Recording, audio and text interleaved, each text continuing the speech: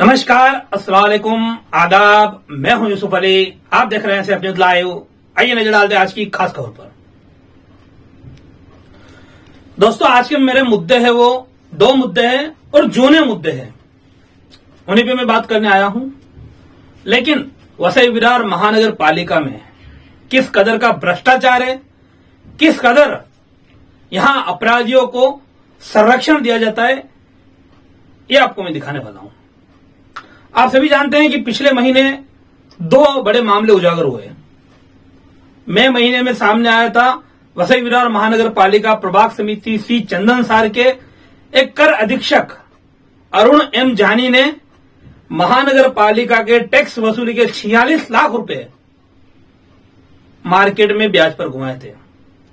इसकी कई न्यूज़ चैनलों ने खबरें चलाई, कई पेपर उन्होंने इसकी खबर लगाई। आपकी स्क्रीन पर आप देख सकते हैं इस समय लोक सत्ता की भी एक खबर आपको दिखाई देगी। साथ ही साथ स्वतंत्र सागर की खबर भी है। वो देखिए। इस मामले में इतना बड़ा मामला हुआ। आगे क्या हुआ? इस पे मैं बात करने वाला हूँ। साथ ही साथ दूसरा मामला था, वसई विरार के बड़े नामचीन अस्पतालों में से एक। विनायका अस्पताल द्वारा महानगर पालिका के घरपट्टी टैक्स का पैसे का जब बिल भुगतान करना था, उसकी जगह पर चेक बाउंस करवाया गया, उस पर क्या कार्रवाई हुई? उसकी बात करना तो पहले बात करते हैं अरुण जानी वाले मामले की। अरुण जानी वाला मामला वैसे तो दो तीन महीनों से अंदरूनी रूप में जारी था। अंदरूनी तौर पर महानगर पालिका के दूसरे लोगों को मालूम था कि इस तरह से अरुण जानी पैसा नहीं भर रहा है। यहाँ तक कि प्रभाग के सहायक आयुक्त गणेश पाटिल तक को यह बात मालूम थी। हमारे सूत्रों से हमें ऐसी जानकारी मिली है। लेकिन तब भी, बल्कि यहाँ तक भी हमारे सूत्र बताते कि गणेश पाटिल को लिखित एक पत्र तक दिया गया था कि अरुण जानी पैसा नहीं भर रहे उसके बावजूद गणेश पाटिल ने कोई कार्यवाही नहीं की। लेकिन बात जब आगे बढ़ी और यह मामला जब मीडिया में छाया और मीडिया में आने के बाद में इस मामले से जब पर्दा उठा, तब महानगर पालिका के स्थापना विभाग ने अरुण एम जानी का निलंबन किया, निलंबन आदेश निकाला। तब से अरुण जानी निलंबित चल रहे हैं। अरुण जानी का निलंबन तो होना ही था, क्योंकि वो पहली कड़ी थे उस घोटाले के। लेकिन उसी के साथ चूँकि वित्तीय अनियमितता एक बड़ा गुना माना जाता है, सरकारी खजाने का पैसा अगर उसका गबन किया जाए तो काफ़ी बड़ा गुना है। और इसी बात को ध्यान में रखते हुए महानगर पालिका के अतिरिक्त आयुक्त रमेश मनाले ने एक आदेश निकाला था। वो आदेश था अरुण जानी के खिलाफ एफआईआर दर्ज करवाने का। आप स्क्रीन के ऊपर देख सकते हैं ये आदेश। ये आदेश निकला था सत्रह मई को। सत्रह मई के बाद सत्रह जून हो चुका है, सत्ताईस जून हो चुका है, चालीस दिन से ज़्यादा हो गया है, लेकिन प्रभाग के सहायक आयुक्त गणेश पाटिल ने अतिरिक्त आयुक्त के उस आदेश की पालना नहीं की, ना ही एफआईआर करवाई, ना ही इस मामले में कुछ आगे उन्होंने कुछ कार्यवाही की। मैं खुद एक दो बार गणेश पाटिल से मिला, उनको मैंने पूछा कि, सर, ये क्या विषय है? क्यों आप इसमें एफआईआर नहीं करवा रहे? तो उनका एक ही तर्क रहता है कि अरुण जानी ने वो पैसा भर दिया। मैं एक बार फिर से कहूँगा, अगर पैसा भर दिया तो ये बात कंफर्म हो गई कि उन्होंने वो पैसा नहीं भरा था। छियालीस लाख रुपया। और सिर्फ़ निलंबन ही, सिर्फ़ और सिर्फ़ निलंबन ही अंतिम सजा नहीं है वो। एफआईआर होनी चाहिए। एफआईआर होगी, पुलिस जाँच करेगी, उस जाँच में इससे लिंक्ड कौन कौन है वो सामने आएँगे। क्या ऐसा तो नहीं है कि अरुण जानी पर एफआईआर नहीं करवाकर गणेश पाटिल किसी ऐसे को बचाने की कोशिश कर रहे हो? या खुद को बचाने की कोशिश कर रहे हो? क्योंकि उन्हें तो मालूम था कि अरुण जानी पैसा नहीं भर रहे।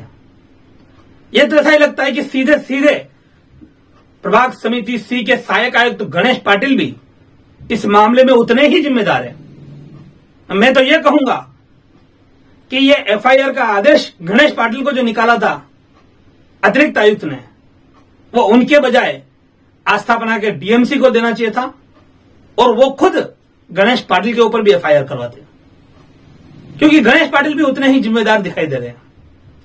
लेकिन महानगर पालिका इतने बड़े घोटाले पर भी खामोश बैठी हुई है। अतिरिक्त आयुक्त जिनके आदेश का वो पत्र था, क्या उन्होंने उस आदेश की फिर दोबारा फॉलो अप लिया कि आदेश था, इस पर क्या कार्रवाई की तुम जवाब दो? अभी ऐसी कोई जानकारी नहीं है। हाँ यह बात सामने ज़रूर आ रही है कि जैसा मैंने अभी आगे कहा, गणेश पाटिल एक ही बात बोलते कि अरुण जानी ने पैसा भर दिया और उनका निलंबन तो हो गया। पैसा भर देना सिर्फ़ काफ़ी नहीं है। और निलंबन तो बहुत छोटी चीज़ है, लेकिन यहाँ एफआईआर दर्ज होनी चाहिए।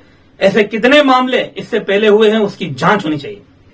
हालाँकि एक बात ज़रूर है कि यह मामला जब उठा था, और यह मामला सामने आया तो उसके बाद से लगातार ए से आई नौ के नौ प्रभाग समिति की ऑडिट जारी है।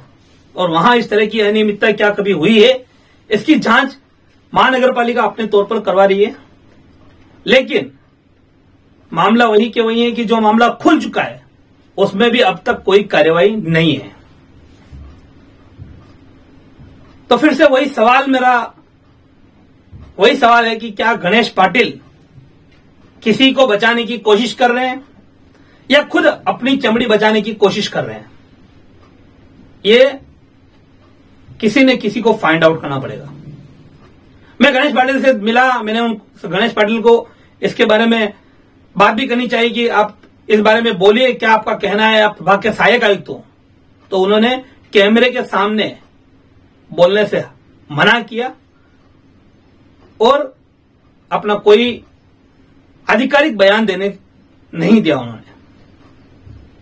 अब बात करें दूसरे मामले की तो दूसरा मामला था विनायका अस्पताल के चेक बाउंस का। तो विनायका अस्पताल ने चेक बाउंस करवाया, उसके ऊपर गुना दाखिल होना चाहिए था। लेकिन महानगर पालिका ने सिर्फ़ उसको नोटिस भेजा और उस आधार पर विनायका अभी मेरे ऐसे मेरे सूत्रों से ऐसी जानकारी सामने आई कि विनायका ने वो पैसा भरना मान्य किया है करके उसके ऊपर किसी तरह की कार्यवाही नहीं की। अब आप सोचिए हज़ार दो हज़ार रुपये घर पट्टी का बा, टैक्स बाकी होता है तो लोगों के घर तोड़ दिए जाते हैं। एक वीडियो स्क्रीन के ऊपर चल रहा है आप देखिए जूना वीडियो है नाला सुपारा का वीडियो है। जहाँ पर सिर्फ़ घर पट्टी का पैसा नहीं भरा गया था, कुछ हज़ार। तो घर का शटर तोड़ दिया गया था। वहीं ये विनायका अस्पताल, जिसने काफ़ी लूटा है, कोरोना में काफ़ी पैसा बनाया। उसने सात लाख रुपया पैसा नहीं भरा, बल्कि चेक बाउंस करवाया, तब भी उसके ऊपर कार्यवाही नहीं है। अब देखते हैं कि कब महानगर पालिका इन पर कार्यवाही करके अपने आप को भ्रष्टाचार मुक्त होने का सबूत देती है। अभी के लिए इतना ही। नमस्कार। हमारे चैनल सैफ न्यूज़ लाइव पर अपने व्यापार और सेवा से संबंधित विज्ञापन प्रसारण हेतु दिए गए मोबाइल नंबर पर संपर्क करें।